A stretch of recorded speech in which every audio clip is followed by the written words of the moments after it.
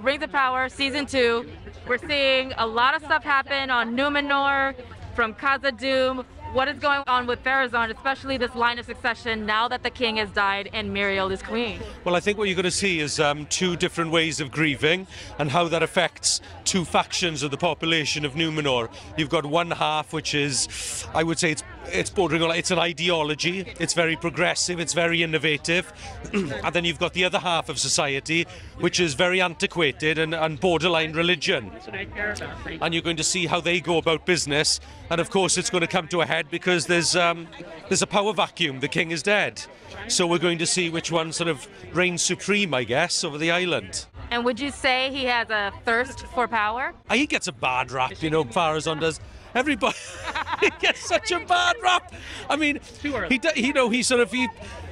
I mean, he does his best for his people, and everybody treats him like he nicks all the, the blue M and M's out of the packet. You know, like he's really shifty. Like, but um, no, I think um, you're just going to see him go about his business, do his best for his people, and make of that what you will.